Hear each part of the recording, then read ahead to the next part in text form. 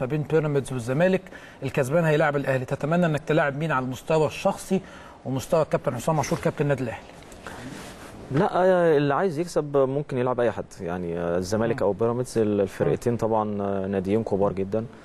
إذا كان بنتكلم على الزمالك من أحسن الأندية اللي المفروض في أفريقيا موجودة في أفريقيا طبعا.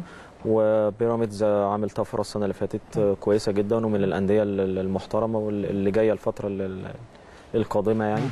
فاللي عايز يبقى رقم واحد ما يفكرش أنا أو ما يعملش حسابات اللي أنا عايز ألعب الزمالك أو عايز ألعب بيراميدز. آه، أي حد هيبقى موجود. هنشتغل آه، على الفرقة اللي هتكسب الماتش الجاي إن شاء الله ونحاول إن إحنا ناخد البطولة. دي أهم حاجة طبعا. كابتن حسام عاشور مين مثله الأعلى من لاعبي كرة